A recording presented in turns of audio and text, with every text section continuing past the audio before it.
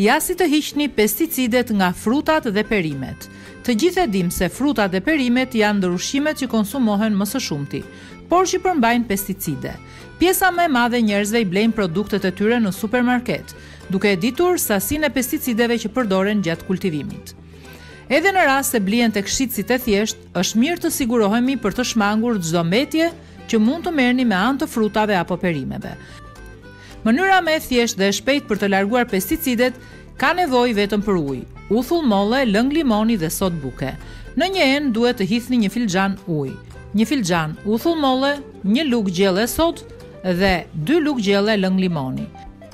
E lini për disa minuta dhe më pas e hidhni në një shishe qelqi, nga e cila mund të lani frutat apo perimet për pesë minuta. Së fundmi, është e nevojshme që të gjitha të lahen mirë me ujë të bollshëm.